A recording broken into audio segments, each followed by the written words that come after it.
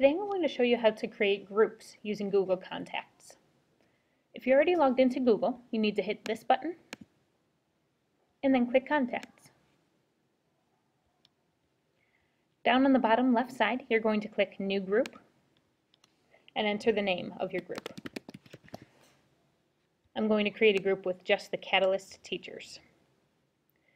If I click on the name of that group on the left side, it says there are no contacts in this group. To add contacts, I'm going to hit this plus button next to the person. I'm going to add Tracy Dunn.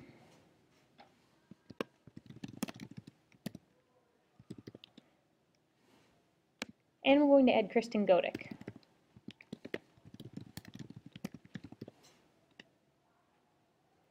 I can add more to this group at any time. The really cool part about creating groups in Google is that when you go to share things using Google Drive, like forms or um, any docs, you can just type the name of that group and it will send it to all of those people instead of having you have to type them individually. Hope that helps.